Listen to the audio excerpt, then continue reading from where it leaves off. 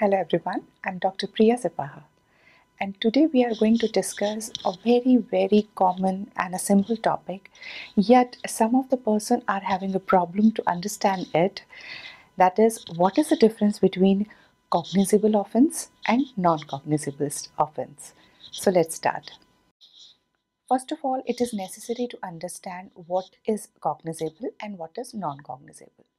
So cognizable and non-cognizable are the type of offences which has been mentioned under Criminal Procedure Code of India.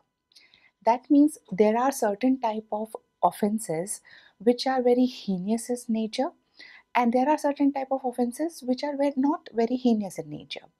So that's why in some cases it may happen that police is having a power to take a suo motu action that means suo motu action means when a police is competent enough to take action with themselves only. For example, that if there is a murder or if there is a robbery or if there is such type of serious offense, then police is having a power to take a suo motu action that means he may start the investigation by his own without taking a permission of any court. So that comes under cognizable offense. And what is non-cognizable offense? Non-cognizable offenses are those offenses where police cannot take suo motu action. That means they are not having a right to take action without taking a permission of any uh, court. So that is non-cognizable offense. Usually those offenses are not very serious in nature. So the first difference between the cognizable and non-cognizable is cognizable in cognizable offense police can take suo motu action without taking a permission of any court. But in non-cognizable offense it is necessary for the police to take a permission of the court then only they can start their investigation. Now the next is cognizable offenses are usually more serious in nature. Like in cognizable offense, the offenses are murder, rape, dacoity, robbery, etc.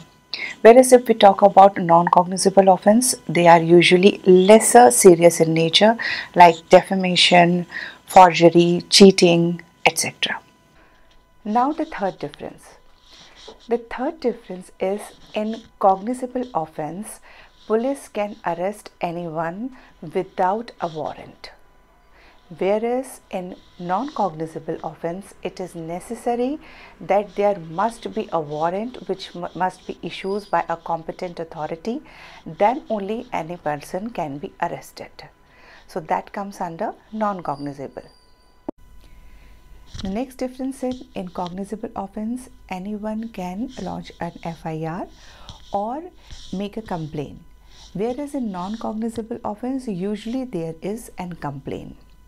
Now, people also get confused between what is the difference between FIR and complaint, and they usually also get uh, understand that both are one and the same thing, but they are different in nature.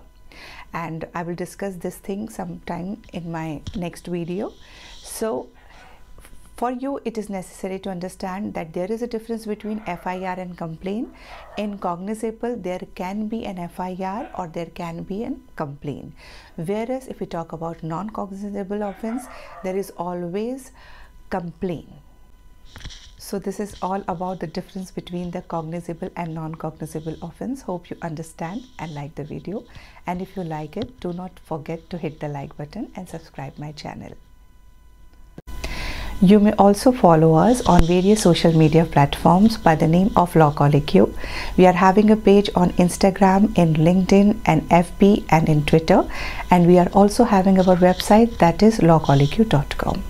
Thank you for watching. See you soon. Bye bye.